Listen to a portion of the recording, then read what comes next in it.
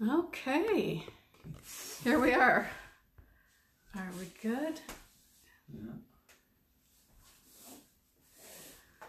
All right, welcome. Yeah, it's a couple minutes before 10, so if anybody's on early, you're going to get uh, uh, extra little bit of chatter. Um, is everything set up good? You, you like the way it I think we're okay. We've got enough space here, I think. Yeah. That uh, should should show well. Yeah. I think. yes, well, it is last Sunday when we met. It was bright and sunny. Today it's dull, dreary, and rainy, but uh, we're almost into April. And uh, we always like to say April showers bring May flowers. so we're looking forward to that as the rain uh, nourishes the earth and uh, spring truly is able to spring forth in wonderful ways. So uh, I do love a rainy day myself, um, whether I'm at home or whether I'm working. It's not so fun to be have a rainy day while I'm riding my bike, which that has happened a few times, but um, but I do like rainy days, and so I love this day, and hopefully you're off to a great start as well, uh, wherever you're watching us from, and uh, we are just delighted to be here with you again. Uh, are you? I just don't know how to refresh on this thing. We'll just pull it down like the. Well, it didn't want to do that. Anyways, Um, just just carry on. Yeah. I'll figure it out. I'm just trying to figure out a technological thing. Well, you could uh, go out of that and uh, and then go back in to see how that works. Anyway, we uh, don't want to get too caught up in the technological stuff here that uh, we forget to keep talking. Uh, so I wanted to start off today by uh, sharing with you a psalm that is one that I love. I remember that uh, Pastor Jim Whitehead, who was uh, leading the, the, the graveside burial for my parents, uh, for both of my parents, uh, who passed away a few years ago, that he shared this psalm at the graveside. And I remember thinking, wow, that is a wonderful psalm. I should commit that psalm to memory. And it's Psalm 121. And I want to share it with you this morning because I feel it's just a, a great encouragement uh, to us uh, at any time, but especially in the times that we're living now, where uh, every day seems a bit uncertain uh, in terms of our normal routine. So many things are, are changing, it feels like every day. And so uh, I'm going to share this with you, and I trust that it will encourage you. As I share it, I want to, you to take note of how many times it says, um, it says in this psalm that the Lord watches over you. Okay, the word "watch" is in there quite a bit. It says so. Psalm one twenty one. I will lift up my eyes to the hills. Where does my help comes from? My help comes from the Lord, the Maker of heaven and earth. He will not let your foot slip. He who watches over you will not slumber. Indeed, he who watches over Israel will not slumber or sleep. The Lord will watch over you. The Lord is your shade at your right hand. The sun will not harm you by day, nor the moon by night. The Lord will keep you from all harm. He will watch over your life. And I love this end, this last verse. The Lord will watch over your coming and your going, both now and forevermore. And so I was like, wow, that is an encouragement to me at any time, but especially in the days that we're living right now. And so I trust that uh, that can be an encouragement to you to, to know that the Lord is watching over us. Uh, you know, in the midst of these times where life is changing rapidly all around us, uh, we can know that our faith and our trust is in God who says he never changes. It says in Hebrews uh, that uh, chapter 13 that Jesus Christ is the same yesterday, today, and forever. And it also says in Hebrews chapter 13 that he will never leave us nor forsake us. So we can rest assured that God is with us and he is watching over us. So I just wanted to share that with you to encourage you. And so this morning uh, we have, um, Angie has um, kind of uh, some things she wants to share that the Lord's been really stirring in her heart. And, uh, and so she's going to uh, take some time to share that. and then uh, I'm gonna uh, share uh, some stuff that's been stirring in me as it's uh, related, building on the stuff, the things that we've talked about the last two weeks. And so, uh, so Angie, uh, yeah, what? oh, maybe maybe before we do that, maybe we should just have a word of prayer too. Sure. I just want to adjust the oh the camera, camera a little slightly. bit. Yeah, yeah. Because I'm not really centered. Yeah, and, and, and and we do want to say if you're if you're tuning in on Facebook Live, uh, uh, feel free to say hello in the chat. Clear that. Uh, let us know that you're there, and uh, if you have any comments or questions as we go through, we'd love to hear from you. And if you have any prayer requests, feel free to uh, um, to say those as well. But uh, yeah, feel free to just say hello. yeah, so we've seen that a few of you are on. So Don and Sharon, great to have you. And I see that Dana and uh, Bob, I think, is probably on too. And Mom, I see that yeah, you're yeah. on. Yeah, the best uh, mother-in-law in the world. Michael, we saw that you were on, and, and I'm not quite sure. I'm trying to get on here to see uh, on the yeah. other, but uh, anyways, it's not, it seems to be working. So yeah. working and working. yeah. So anyways, we can sort of see where eyesight maybe isn't as great as it used to be, but that's okay. But it's all right. Yes. So uh, anyway, let's, uh, why don't you lead us in an opening prayer? Okay, so Father, we thank you that you're with us. And yep. we thank you for the promise that Jesus gave us that you will never leave us, you will never forsake us. So we thank you that you're here. Mm-hmm. And we thank you for your promise of the Holy Spirit, that the Holy Spirit is with us too. So we just ask for your leading and your guiding yes. in this time that we spend together, that um, you would speak to us, that you would speak to our hearts, mm-hmm. that, that you would um, just be alive show your show your presence among us. Mm-hmm. So that's what we're asking today. In. Jesus' name. In Jesus' name. Amen. Amen. Amen. All right. Well, um, let's carry on then. And Angie, why don't you share uh, some of the things that have been God's been really stirring in you? Maybe you could even say a bit about what we were doing yesterday for a good part of the day. Um, Oh, yes, I said, what were we doing yesterday? uh, we were on the nationwide prayer call uh, yesterday um, from it started at 10 in the morning and it went till after 9 at night and so we actually didn't get on till about 10:30 in the morning uh, but we were on pretty much the whole the whole day. I mean there was times that we were doing things right? But um, yeah that was really encouraging um, to be praying for our nation in this time. So yeah, with, with leaders all across canada mm-hmm. every uh, every province kind of had an hour uh, on this. It was hosted by Faytene um, Grzycki or Grzycki. Some I don't do real good with her last name, but uh, just a wonderful woman who's leading the charge of kind of gathering leaders together across Canada. So it was yeah, really inspiring yeah. to hear all the prayers and to see what God is doing across this country in the midst of these uh, these turbulent times uh, in society. So yeah, thankful for her and thankful for the, the all the leaders that were on across Canada. That was great. They took segments of the nation um, and leaders yeah. from the different churches and ministries and those areas. So that was great.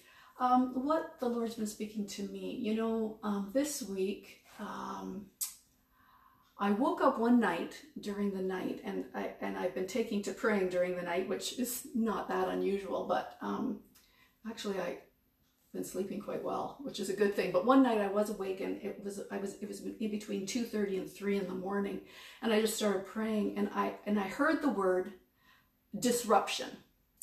And um, and I thought, well, that's really kind of what is happening here. We're in a major disruption in in the world, in Canada, in in in in our lives right now. And so um, I woke up and I was like, what was that word that I heard in the middle of the night? And I'm pretty sure it was disruption. So, you know, I've been pondering disruptions. You know, what is a disruption? You know, like a disruption is a little different than an interruption. I think maybe they're kind of the same thing, but I think of being an interruption being if I'm working away and I get a phone call, it's an interruption. I get right back after the phone call, I get right back into what I was doing.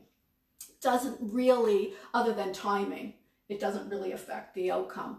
But a disruption, um, you know, I was looking at some um, definitions of disruption. It's a disturbance or a problem which interrupt an event, activity, or process. But then there's also a disruptive innovation, you know, and that's talking about in business theory. It's something that creates a new market or a new network, or it eventually disrupts an existing market and value networks. Something like um, that would be something like the internet Yeah. when that came in. It Yeah. changed the way we did things, right? And so I was thinking, you know, an interruption. You know, a number of years ago, we got a call um, in the morning, earlier in the morning. Um, our daughter had been on the way, her way to work and had been in an accident. And I don't remember why you were home that morning because usually he would be at work, but for some reason, I don't know if you had an appointment or whatever, you answered the phone that morning about eight o'clock. She had been in an accident. You know, that wasn't just an interruption to the day, that was a disruption. Right. Um, you know, we got in the car, we went to the accident site. She was in an ambulance on the way to the hospital. We ended up at the hospital. We had to arrange where the car was going, and and that car was totaled. that car was done, and we needed to get a new It car. It was a disruption. it was a disruption. we had to, you know, it, there was a new way of functioning. There had to be a, a, a different car, a new car. Uh, well, different car um, at that time. So, you know, so we're in a disruption and it may mean a change in the way we're doing things. And, you know, it got me thinking, I was like, okay, Lord, you know, I understand we're in this disruption, but like, what are you saying in the disruption? What are you doing? And I thought about some disruptions that actually God caused uh, for some people, some, some biblical people in the Bible. And so I was thinking on that. I was thinking about Moses. You know, Moses, uh, he had uh, an unusual start to life. Mhm. He was born in a time when all the babies were being murdered in um, in Egypt because the king was afraid that they would rise up in power. The Israelites were becoming too strong. So he was saved from that time, and he was saved from by Pharaoh's own daughter. He was raised in the palace. He was a man of privilege, even though he had you know, an, an Israeli, uh, an Israelite, a Hebrew, they called them Hebrews at that time. Um, he was one of them, but he was raised in prominence as an Egyptian in the Egyptian palace. And when he grew up, he was out and he saw the oppression of his people. And what did he do? He took matters into his own hands and he killed an Egyptian who- was beating uh, a Hebrew person. And it became known and he fled. And so for years, he was on the backside of the desert Mhm. herding sheep. You know, he was a shepherd. And and one day after years and years and years and years, he had an encounter with God. There was a disruption to mm-hmm. his life. You see, I think that we need to understand in this time we serve a God who sees. We serve a God who sees, and he saw what was happening. He saw what was happening, and he knew that he had a promise to the Israelites. He had a promise to the Hebrew people, and that promise stemmed from a promise that he gave Abraham. And so he remembered. He remembered that he was going to take this people who found themselves in slavery and he was going to take them through a wilderness process. He was going to take them to the promised land, but he needed somebody to lead that um, process. And so his eye was on Moses. Moses even felt that call when he had killed the Egyptian, right? Like he felt the injustice. He he felt all of that. It was actually part of his call, but it was premature at that time. But here he was years later, 40 years later actually, herding sheep and um and there he saw a burning bush. It was a disruption to his day, not just an interruption, a disruption because the Lord spoke to him. He actually he had to turn and he said, "Eh, you know, I've seen burning bushes before, but this one's kind of unusual because um, the bush is not really burning. There's a fire all around it. There's a fire, different fire in the fireplace today. There was a fire burning, but the bush didn't burn up. And he's like, this is unusual this is unusual. So he turned aside and he looked. And when he looked, the Lord spoke to him. So he had an encounter with the Lord in that time. And the Lord said, You know, I'm going to send you back. You know, you're going to lead my people. You know, and, and Moses was kind of like, he wasn't on board with this. He's like, You know what? Like, maybe you should send somebody else. I don't speak well. I, you know, I, I'm not a good orator. I don't, I don't think that I can do this. But, you know, I believe that there's something that we need to learn in this about the disruptions God has a plan, and if He's calling you, He will equip you, and that's what He did with Moses. So the Moses is the first one I think of with disruptions. Um, there's a lot. there's a lot of stories, but the other one that I wanted to bring to mind was uh, Saul of Tarsus.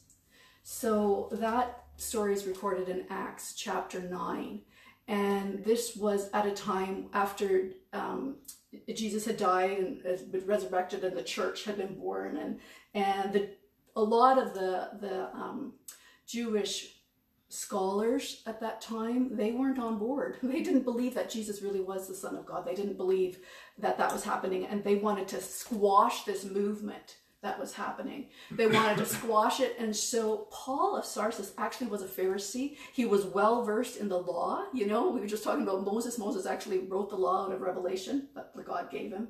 Um, paul saul sorry saul later paul um, studied this he was a Pharisee among Pharisees. He had a good understanding of that, the Word of God, of the, the Scriptures, but he was, and he was zealous, but he was trying to persecute the church because he thought they are in error, right? And so he was putting them in prison. He was seeing that they were killed.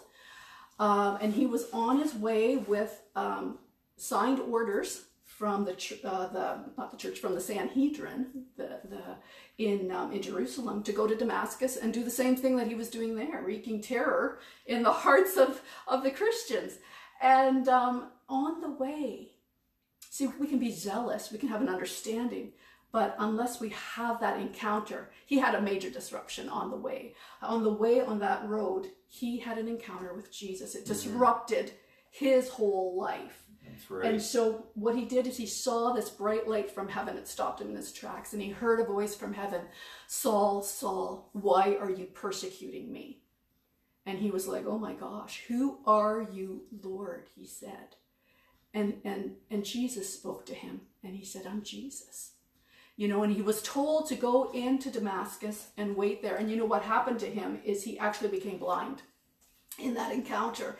And, um, and so he went into Damascus and he was waiting. He was fasting and praying, mm-hmm. seeking God about what was happening. And he has a vision in that time. And in this vision, he sees a man named Ananias come to him and um, lay hands on him and pray, and that he would receive his sight. Well, Holy Spirit speaks to Ananias and says, I want you to go to Judas's house on Straight Street. So he gets the instructions where he needs to go. And he says, I want you to lay hands and pray for Saul of mm-hmm. Tarsus that he would receive his sight. And Ananias is a little bit afraid. You know, this is a disruption to his life too. He's like, well, interruption, disruption.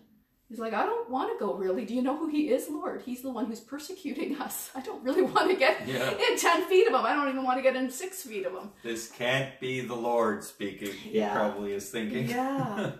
but he did it. Yeah. And he prayed for him, and it says, like, scale like things fell from Saul's eyes. You know what? Like, God got a hold of Saul because he had a he had a purpose for him. You know, he could use Saul. Saul had a great understanding of the scriptures. He had a great mm-hmm. understanding then of what Jesus meant in regards to the scriptures. And he was used not to the Jews, but to the Gentiles to mm-hmm. bring salvation to them. And so that was a huge disruption um, in the life of Saul, and later he became known as Paul, Paul the Apostle. Um, I'm going to skip to the next chapter. So we were in Acts chapter 9. Acts chapter 10, there's a story of Cornelius. I love this story of Cornelius because this was also an interruption in his day. It was a disruption mm-hmm. in his life. But as I said before, God sees. God sees. And what God saw in Cornelius's life was a beautiful thing. And what Cornelius was is he was a Roman centurion, so he was a Gentile. He wasn't part of God's chosen people, which were the, the, the Jewish people. But he had a heart to bless, and he blessed the Jewish people, and he he gave money to the poor, and he did all sorts of wonderful things. He had a great heart, and he actually would take time and he would pray. And one of those times when he was praying, something happened, a disruption to his life. An angel actually showed up and said to him, you know, yet God has seen, you know, his gifts, his his offerings, his alms to the poor, it had come up before the Lord as a as a fragrant offering. You know, it had come up before the Lord, and the Lord had, you know, him on his radar. And so he sends an angel and he says, You know what? I want you to send for Simon Peter. I want you to send for Peter. He's in such and such a house in Joppa send for him, and he's going to come and tell you about salvation. And this was unheard of for Peter. That's when he had had this trance where he saw this um, this um, tarp being lowered that had all sorts of food in it, animals in it that the Israelites were forbidden to eat. And he was told to take and eat. And he's like, I'm not doing that. And then these men came that were Gentiles and, and they didn't like to associate in that way with them. But God said, Go, you know what? And, and salvation came to that house because he told them about Jesus. Mm-hmm. He told them about the message of salvation. And I feel like in this time of disruption that we're in, God wants to do something in us because he sees. He sees um, what it is that he wants to do. He sees our hearts, you know, and so um, so Moses, he didn't feel like he was adequate, but God said, You're adequate for the task. You know what? Sometimes God's calling us to some things, and I, I think these are a time in times of disruption, these are the times when God mm-hmm. is speaking, and we just need to say, you know what? You know what? I won't trust in my own abilities even. I'll trust in you. I'll trust in what you're saying to me, and mm-hmm. I'll move forward with that. Paul, he had um, a lot of zeal, but he didn't have the right understanding. And so this is a time of disruption where we can get more understanding as to what God's calling us. And Cornelius, he had a wonderful heart, and God wants to speak to those too that have a wonderful heart and take mm-hmm. it to a mm-hmm. new place, a new place of encounter with Him. And so, um, so these are exciting times mm-hmm. that we're living in, even in all the disruption. That God wants to do something in the, the disruption. Um, one other thing in between those two stories in Acts 9 and Acts 10, the end of Acts 9, it's a sto- there's two stories that are little, little stories that are wedged in there where Peter is, is um, it does some miracles. And the one is a man named Aeneas, who's a paralytic, and he heals him. He says, Get up. And the other is Dorcas, also known as Tabitha, and she had died. She had been done great things among her people. You know, she was a server. She had a servant's heart. She made clothes and gave food, and you know, like just was a, a, wonderful person. She died, and Peter raised her from the dead. And he said the same thing as he said to the paralytic. He said, "Get up." You know, and so I think it's a time when God is speaking to His church. Those of us who have felt paralyzed, maybe we're paralyzed with fear, maybe we're paralyzed for whatever reason. We're we're we're on our mats, but He's saying, "Get up." It's time to get up. Mm-hmm. And even Tabitha, yes. like some of us are dead and sleeping, you know, wake up, oh sl- slumberer, and, and rise. Yeah. Christ is shining on you. And so I think, you know, those those two little stories kind of tie it all together mm-hmm. that it's time to arise and that's what we're about, arise now. Right on. Well, and you know, I love I love all of those stories. They're all uh, very um, appropriate and and uh, really applicable for the season that we're in.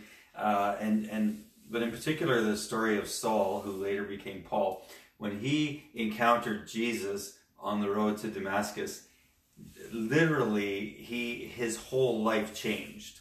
And and I like to think of it how his theology changed, his belief system. He was believing before that that Jesus was a hoax, he was not the Messiah, he, you know, anybody who was following him deserves to be punished. And all of a sudden Jesus appears to him and says, Saul, Saul, why are you persecuting me? And his answer to him is, Who are you, Lord? And so in that moment, Saul's theology changed because he encountered Jesus. And as we are in this, the midst of these disruptive times, I, I think there's probably hardly a person in the world right now who has not had their normal way of life disrupted. And how do we respond in the midst of these times? Uh, how we respond in the midst of these times is, is based on the theology that we build our lives on. Everybody has a theology. Uh, everybody has a worldview, how we view the world and how we're going to function in it. And in the midst of these times, I want to urge you to seek God so that you can have an encounter with Him no matter what your theology is, whether you believe in Him and are living for Him uh, daily, or whether you're not even sure He really exists, or wherever you're at in this journey of faith, I encourage you to call out to God so that you can have an encounter and that Angie and I, we want to be calling out so that we can keep having encounters with Him uh, each and every day as it, so that it will shape our theology and our worldview so that we can respond to the things that are around us as people of faith and as people of hope uh, because that is who he's calling us to be. You know, Jesus said that his followers are the salt of the earth, and he said that his followers are the light of the world. And, and salt is not good if it's just kept within the salt shaker. It has to be shaken out and put onto something. And so you and I, as followers of Jesus, we need to be shaken out now. I mean, we can't really be out of our house too much, but there are ways we can connect and be an encouragement and we can be the salt of the earth in this time. And there's ways that we can be the light of the world. A city set on a hill cannot be hidden, uh, Jesus said. And so we want to be that light uh, and encourage you to, uh, to join us in that journey that these are the times for us to arise uh, in the midst of these disruptions. And so I'm gonna I want to share building on um, uh, a little bit of what we talked about the last two weeks and and so uh, two weeks ago I shared about building on the solid foundation which is Jesus so that when the storms come that the house uh, you know that we will not crash that we will be firm and uh, uh, and we will be well established. And and how we want to be people of faith not people of fear. And then last week we talked about uh, the living hope that is within us as followers of Jesus that he's given us this living hope that we, in the midst of whatever is happening around us, we can still be called, we can still be people of hope. What is uh, hope from a biblical perspective? Hope is a confident expectation in who God is and what he says he will do. I love that phrase, confident expectation. And so, so in the midst of these times that are, that are changing rapidly all around us, we can have a confident expectation that God is faithful and that we can um, rest assured in that and we don't have to live in, in fear. We can have faith rising up within us, faith being sure of what we hope for and certain of what we do not see. And so, uh, as I was pondering, you know, this week and, and things kind of percolate in me as I as I uh, go through life and as I drive around in my buses, I'm, I'm still uh, uh, fortunate enough to be able to go to work in these times. And, and uh, I was pondering about uh, some verses that I've memorized in the last little while that have to do with hope and endurance. Okay, and so there's this passage in uh, 1 Corinthians chapter 1. Um, sorry, it's Second Corinthians chapter 1. Try to get the, the reference right. Second Corinthians chapter 1 where uh, Paul starts off by saying like this. He says, "Praise be to the God and Father of our Lord Jesus Christ, the Father of all compassion, the God of all comfort." Wow, that's beautiful. The God of all comfort, who comforts us in all of our troubles, so that we can comfort those with, in any trouble with the comfort we are, ourselves have received. For just as we share in the abundant sufferings of Christ so also our comfort abounds in Christ. So he's he's painting this picture that there's going to be uh, some suffering, but there's also going to be comfort in the midst of it. Then he says, If we are distressed, it is for your comfort and salvation. If we are comforted, it is for your comfort. And now get this, which produces in you patient endurance of the same sufferings we suffer. And I was like, wow, that phrase, patient endurance of the same sufferings that, that Paul was referring to that he suffers. And so then jump over to First Thessalonians uh, chapter 1. Uh, Paul is writing there, and he says, uh, he says, I'm continually uh, praying for you. I, I, I, continually mention you in my prayers, and, and I'm thankful for you. And then he goes on and he says, We come before, we remember you before our God and Father and we're, we're remembering your work produced by faith, your labor prompted by love, and your endurance inspired by hope in our Lord Jesus Christ. So, do you get the connection? You see where I'm going with this? If we're going to endure, if we're going to last long, if we're going to endure to the end, it's going to be because we have hope.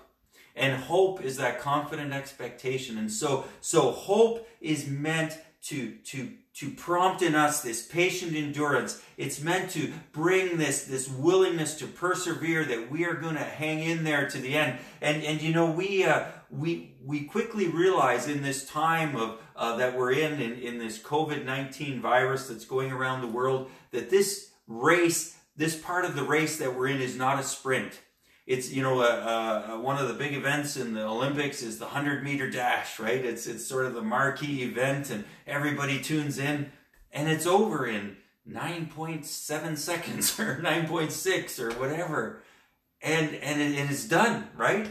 Well, this is not a sprint, and much of life is not a sprint. It is more like the marathon that keeps going and going and going, right? And so we want to have that patient endurance. We want to endure to the end. I was reminded of uh, in Revelation, uh, the chapters two and three. There, uh, uh, John was receiving this revelation when he's on the Isle of Patmos, and and he got seven letters to uh, to churches, to seven different churches, and they're they're written out in Revelation chapter two and three. And there is a common theme in each one of those letters. There's the same two phrases are used in each of the seven letters. And and these this, these are the phrases. The first one is to him who overcomes. What is an overcomer? Well, an overcomer is someone who who gets over an obstacle, who who doesn't stay back, who doesn't get conquered. You know, it tells us in, in Romans that we are more than a conqueror. Well, how can you be more than a conqueror? Well, possibly it's because we uh, are, are able to conquer because of what Jesus has done for us and, and the Holy Spirit living in us. He enables us to overcome, to be more than a conqueror. So that's, that, that's phrase one is we are more than conquerors. Or sorry, that's not in, in Revelation, that's from Romans. But to him who overcomes. And then it tells us what we will receive when we overcome. And the second phrase is this he who has an ear, let him hear what the Spirit is saying to the churches. And so uh, we all have ears. Uh, some of us hear better than others. And, uh, and even if our ears aren't functioning real well, you know, there are ways that we can still hear, um, even if our physical ears aren't functioning real well, we can still hear the voice of God. We can hear the Spirit of God speaking.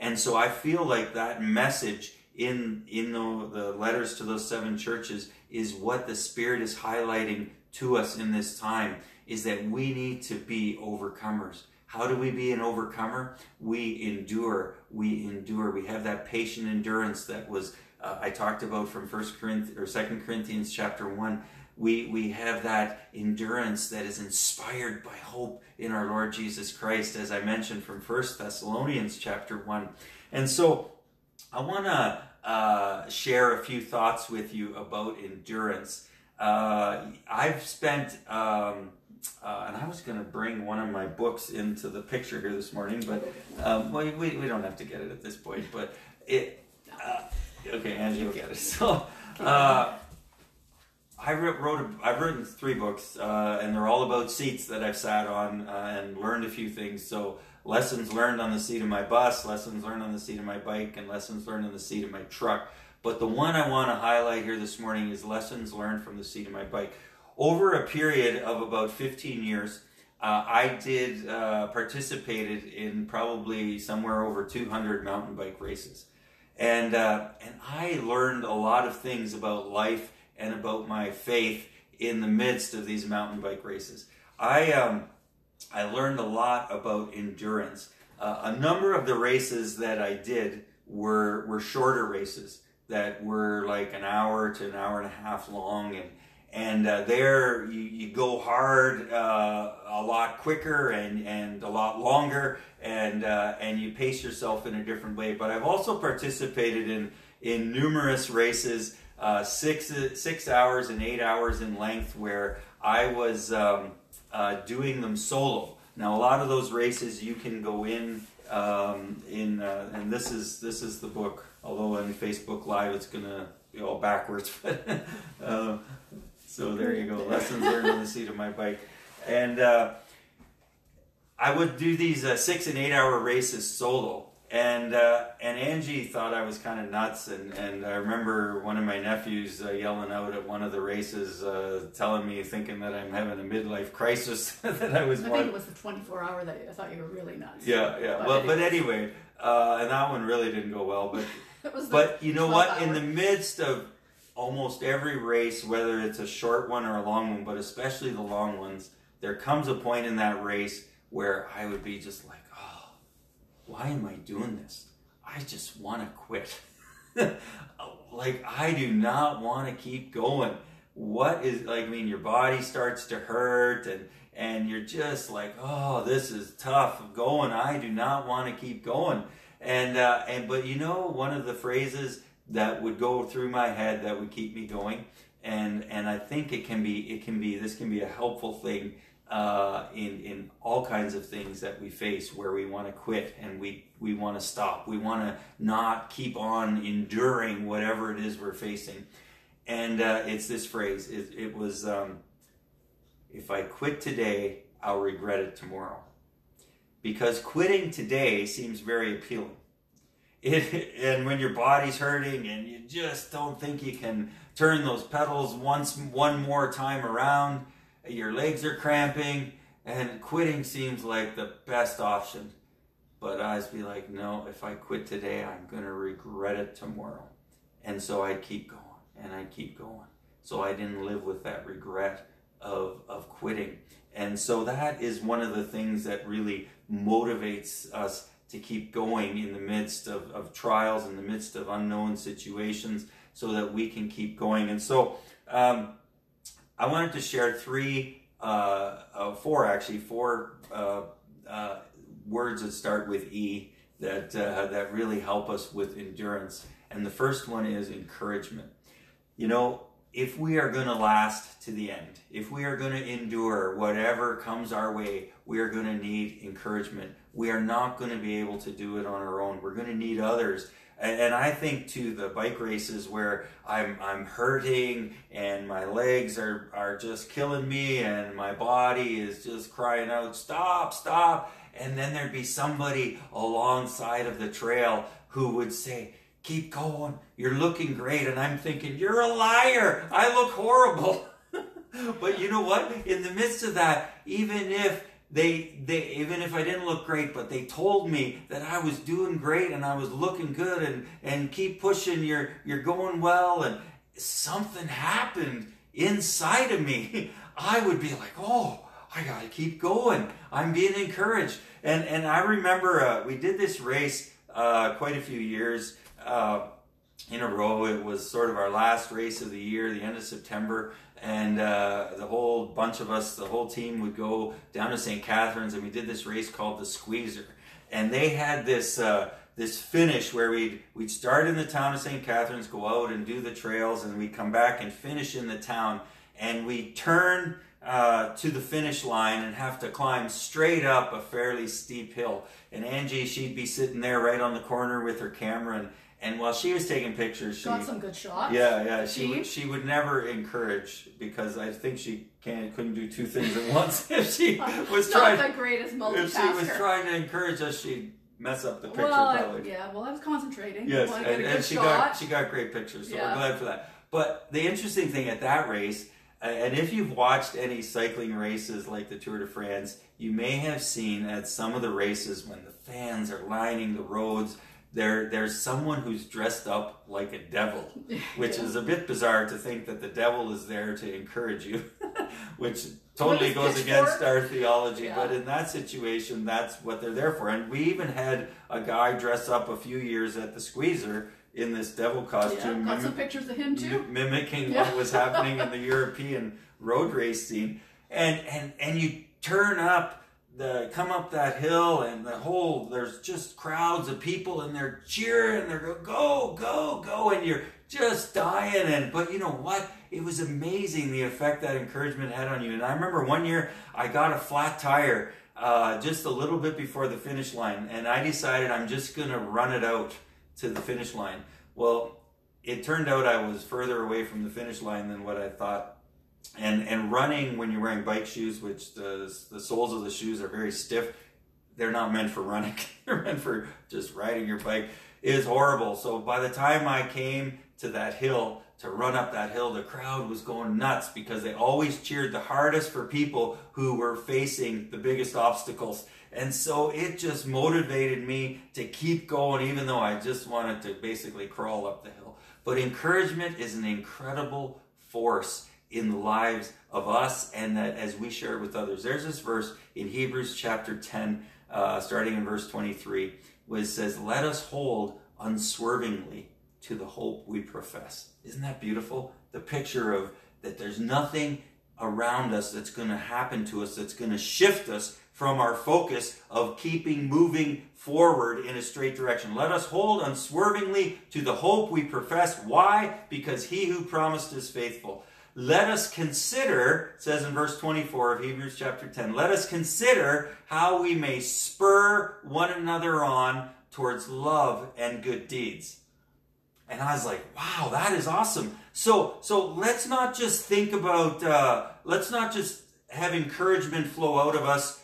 Well, if it just happens to come out. Let, it says in there, let us consider. Let us actually think about it. Let us actually plan how we're going to encourage someone else. And, and let us give careful thought to it. You know, a good friend of mine, uh, Paul Eckmeyer, uh, he's a retired bus driver and he had a battle with cancer, passed away uh, last summer, and he was the greatest encourager uh, in my life that I've ever experienced. And that is because he considered how he was going to encourage me and he did it regularly and he inspired me where I want to I want to carry that on. I want to be an encourager to others and that's what we're hoping uh, what we're sharing with you today, what Angie shared about disruption, what I'm sharing about endurance, that it is his encouragement to you. We've been considering it all week and now we're sharing it with you and trust that it will be an encouragement, that it will spur you on. As I think of that phrase, spur you on, you know, I grew up on a farm and, and we had uh, herd cattle around, and sometimes they needed some spurring on, you know, they needed some encouragement. We had the dog that would nip at their heels and we had some uh, sticks and various things that we would kind of encourage them with to get them to you know tap them to go in the right direction. And that is is what the encouragement that we share with each other is for. It's to spur us on towards love and good deeds. And it's through that encouragement that we can endure. The second thing that i want to share about uh, endurance that is really key is our eyes. And i have a whole chapter in this book about eyes. And in that chapter, I tell talk about how the best tip that I ever received as a mountain biker was about my eyes. And it was this uh, your eyes steer the bike, not your hands on the handlebars. And you're thinking, wow, is that really true? Well, yes, it is true because what I'm looking at is where I'm going to end up going. So, so we would be, uh, you know, riding through these uh, rock gardens or sharp corners with, you know, where you could go over the cliff beside or various uh, kinds of terrain. And, and it was so crucial to focus your eyes in the direction you wanted to go. Because if I got distracted by uh, something off to the side, uh, I would usually uh, end up in trouble and I often ended up off the trail and maybe wiping out. And uh, and so our eyes are so crucial. What we focus on, what we look at, what consumes our attention, that is what we become and the direction in which we head. So in the midst of, of this time where where the world is is is disrupted and and uh, there's so much news about the virus that you can kind of consume yourself with, and, and I do like to keep up on sort of what is happening, but in the midst of all of that, I want to keep my eyes focused on Jesus. You know, there's this wonderful passage in Hebrews uh, chapter 12, uh, verse starting in verse 1, but actually, let me start in uh, the last couple verses of chapter 11, because chapter 11 of Hebrews is what we commonly known as the faith chapter. And it lists all these great people of faith uh, that we read about in the Old Testament. And then at the end of that chapter, it says, uh, These were all commended for their faith, but none of them received what they had been promised.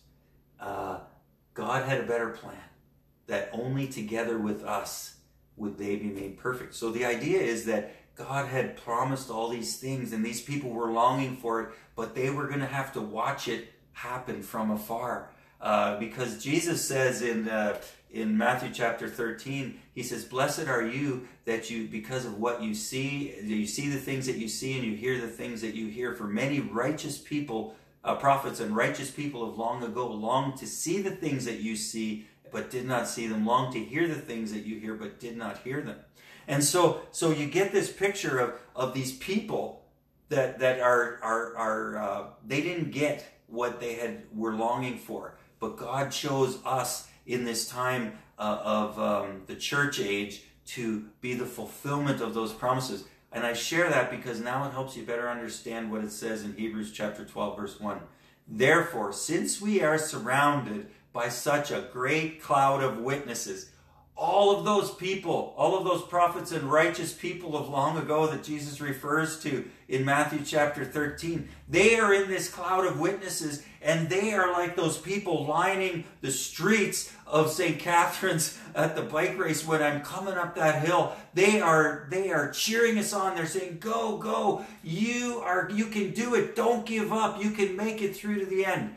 And then he goes on. He says, "Therefore, since we are surrounded by such a great cloud of witnesses, let us throw off everything that hinders. Because in a bike race, as in life, you don't want to carry extra weight. You wanna you wanna uh, be as light as possible.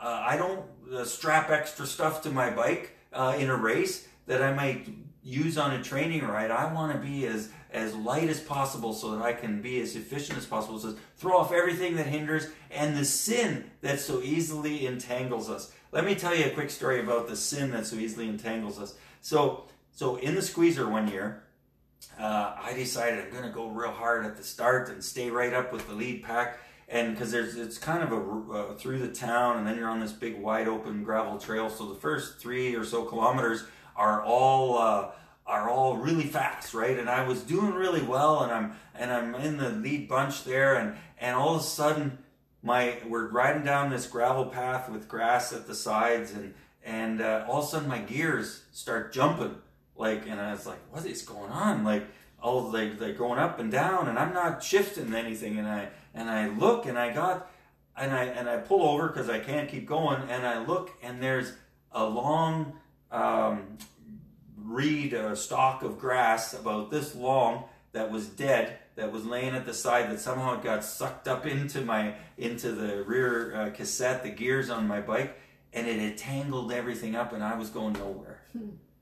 the sin that so easily entangles us. That's what sin does in your life and mine. It stops us dead in our race and we need to stop and we need to untangle it. So i pulled that out and i was good to go and so that's what we need to do when the sin entangles when we when we fail. And and, and i'm not saying that to condemn you when you fail because we are in a season of grace where when we confess our sins he is faithful and just to forgive us our sins and to cleanse us from all unrighteousness.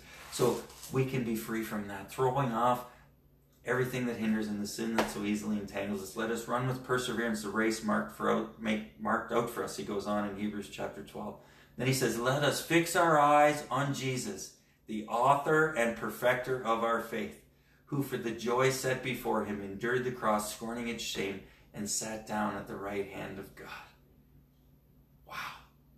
Jesus gave us the next point is the example. But when we fix our eyes on him, he will lead us and he will guide us. So we've talked about encouragement. We've talked about our eyes, focusing them on Jesus. Fix your eyes on Jesus. The third E word is example. Jesus is our example. Fix your eyes on Jesus, who for the joy set before him endured the cross, scorning his shame. And it says in verse 1 how the race is marked out for us. Well, let me tell you another story about mountain biking. There was uh, one year we were going to have a race at a place we had never been, and we always loved as mountain bikers going to race sites that we have never been at. Uh, but we would often try to go and pre ride the course. Um, when oh our fire yeah. there we go we'll get it back on yes yeah. these fires uh, that are electronic they work wonderfully so so we were going to race where we had never raced and and there we had the option to go pre-ride the course and to go check it out so i went uh, i think it was the week or two before and and lo and behold i got to ride the course with the two fellas who designed the course they had built it and I got to do a lap with them. And it was awesome. I was riding right behind them and they were saying, Oh, watch out on this corner and, and when we come to this rock garden, there's a little kind of crack in the in the one rock. Just put your front wheel in there and you'll just roll right over and on and on the tips came and I was like, Wow, you guys want to just do the race with me? and and I thought that is just a great example of how we can fix our eyes on Jesus, and He is the example. You know, it tells us in Hebrews chapter 4 that. Um, that uh, we do not have a high priest who is unable to empathize with us in our weakness because no he was tempted in every way just as we are and then in hebrews 12 one of the verses i quoted there it tells us that we are to run with perseverance the race that is marked out for us jesus is the course designer of this race of faith that we are in. And then not only did he design the course, he came down and rode it. He rode the whole course and set an example for us of how to live this life of faith in him. And so we can fix our eyes on him and in the midst of whatever we're facing, all of these things that want to distract us and, and take our focus off of him, we can focus on him and he can lead us through everything that we're facing and we can endure with that. Well, the last E word I want to talk about is the end.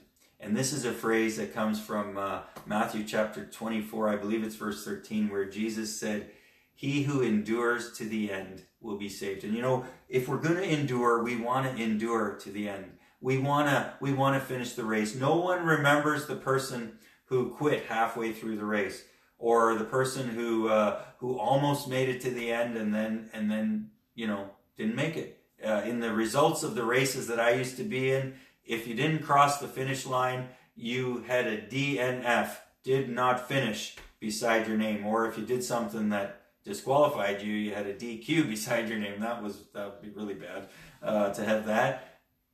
But we don't want to be DQ'd. We don't want to have a DNF. We want to have our name on the end results. And how do we do that? It's by enduring to the end. And that's that commitment that we will not give up. I remember um, I did this race about five years ago at Mount St. Anne.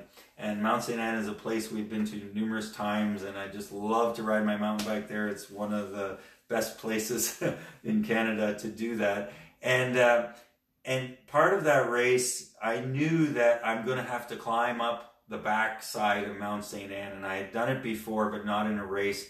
And I knew it once you get out onto that hill or onto that mountain, uh, you you you climb and you have no break till you get to the top. Like some of the climbs that we did, you know, they'd have little little breaks where you could kind of catch your breath. Well, this one had no breaks, and so I came out onto that hill, and I looked up, and there's people riding, and there's a lot of people walking and and once you once you stop pedaling you're done. You got to walk.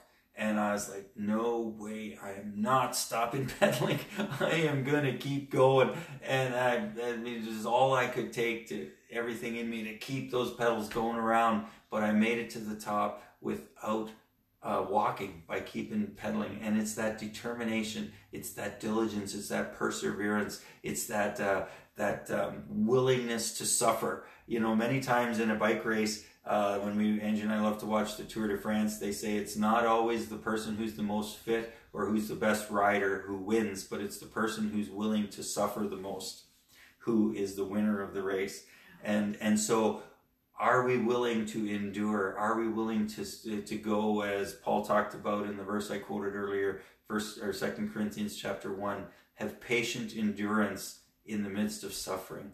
And so we want to endure to the end. And how do we do that? It's through the encouragement, it's through the fixing our eyes on Jesus and following his example. And so you and I can have that endurance that comes from hope that is in Jesus. And so I, I trust that that's encouraged you today. Uh, I know that I, I get encouraged a lot when I talk about this uh, this kind of stuff because uh, uh man, we all we all need this this kind of a message and uh, with whatever we're facing. And so we just want to encourage you today with that. And if, if this has encouraged you, uh, we just encourage you to, to leave a comment in the in the in the comments uh, option as you're watching, uh, or give us a wave or a like or something. We we just would love to interact with you, and uh, and trust that uh, that God will um, see us through these times. You know, we we don't know what tomorrow holds. I said the first week that we did this, we've never known what tomorrow holds, but now it's even feels more so. Uh, we don't know what tomorrow holds, but in the midst of whatever is happening around us, God is our rock, Jesus, and the Holy Spirit dwelling within us. Uh, we can have hope, we can have faith, and we can endure to the end. Amen. Yeah. That was a good word. That was a good word. Thank you so much for for being with us today. I mean, we didn't, um, you know, highlight who all, and I, I didn't actually have a thing where I can actually see who's all on, but I I did notice. Uh, so you know, thank you, Anita, for coming on, and Barry, and I, we saw Mary was on, and Bev, and Barb, and um, you know, if we didn't call you out, we're sorry about that. But uh, well, that's okay. Maybe some don't want to be called out. yeah, so. maybe you don't want to be called But out. uh, thank we are you just so much for delighted yeah. if, if you for watching this live, and if you uh, um, check in on the replay later. God bless you as well. And uh, we, let's just uh, close with a word I think we prayer. want to speak about next week. Okay. First. So yeah. So next week, um, we're we will have something at ten o'clock Sunday morning. Uh, it uh, It will, probably won't be live. We'll probably do a premium event because Yeah. Paul's actually supposed to be on the milk truck next week, yeah, I'm so supposed to drive he that won't next be Sunday he won't be around here. But, But we uh, will have something broadcasting, um, and there may be some live thing. at yeah, a some other premium point, event. but- I can you know we can do some texting. just stay uh, tuned to our, our Facebook, um, Facebook and on our uh, website arisenow.ca. We'll right. let you know what we're doing. what, what the plan yeah, is for sure. because we talked about whether we should keep it at ten or do it some other time. But uh, we'll To be determined. To be, yes to be announced. Yeah. So uh, anyway, that's good. But uh, why don't you uh, lead us in uh, prayer again to close then? Father, we thank you that we're your children. We thank Mhm. you that um, that you hold us in your hands and that we don't need to be afraid hmm in these times. That your peace, the peace that passes understanding, the peace that keeps our hearts and minds in Christ Jesus, that peace Mhm. Is accessible to us. Yeah. So we ask for that peace, Mhm. that peace to come and rest in us, around us, that you would speak peace to the storms and that we would be able to rise up in faith to speak peace to the Mhm. storms around us. Yes. We ask, Father, that we would have those encounters with you, those disruptions in this time of disruption, where you would redirect our thoughts, you would redirect um, our steps Mhm. In this time, that we would come into alignment with everything that you have for us, that we would have understanding in these times, um, how to walk Yes. each day with you. Thank you that um, you have called us to endurance, Mhm. that you empower us for endurance, and that you give us the tools to endure. Yes. We give you thanks and we give you praise for that. We, Father, we ask that this week that you would um, be very real Mhm. to all of us in ways that we maybe have not experienced before. Yes, Lord. And we thank you in advance in the name of Jesus. Amen. Amen. Amen.